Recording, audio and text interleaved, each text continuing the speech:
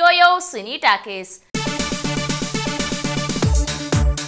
ఎన్టీఆర్ బయోపిక్తో ఎంత బిజీగా ఉన్నప్పటికీ తెలంగాణ ఎన్నికల్లో బాలయ్య షూటింగ్ క్యాన్సిల్ చేసుకుని మరీ షేర్లింగంపల్లి టీడీపీ అభ్యర్థి ఆనంద్ ప్రసాద్ కోసం ప్రచారాల్లో పాల్గొన్నారు.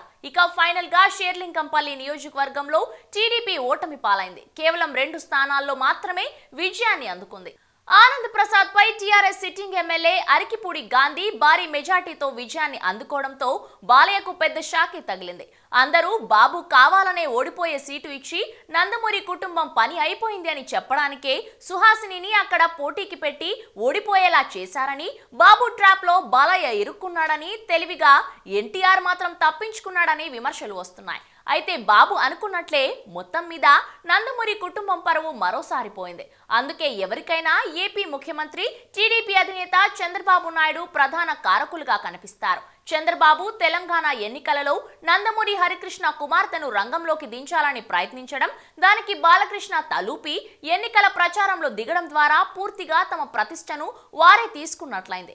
నిజానికి ఎన్టీఆర్ స్థాపించిన టీడీపీని కాంగ్రెస్తో కలపడం ఏమిటని ప్రశ్నించవలసిన ఆయన కుమారుడు బాలకృష్ణనే సిగ్గు లేకుండా ప్రచారంలోకి వెళ్ళారు. అదే సమయంలో జూనియర్ ఎన్టీఆర్ ప్రచారానికి దూరంగా ఉండి పరువు నిలబెట్టుకున్నారు. కూకట్పల్లిలో టీఆర్ఎస్ అభ్యర్థి ముప్పై వేలకు పైగా మెజార్టీతో ముందంజలో ఉన్నారు. మంత్రి కేటీఆర్ చెప్పినట్లు నందమూరి కుటుంబాన్ని చంద్రబాబే బలి చేశారా? హలో మిమ్మల్నే. యోయో టీవీ యాప్ డౌన్లోడ్ చేసుకున్నారా? ఇంకా లేదా? మీ యాప్ స్టోర్కి వెళ్ళి వెంటనే డౌన్లోడ్ చేసుకోండి.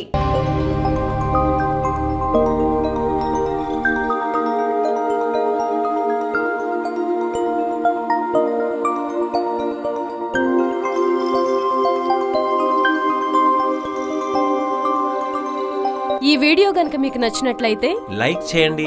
షేర్ చేయండి. అండ్ సబ్స్క్రైబ్ చేయండి.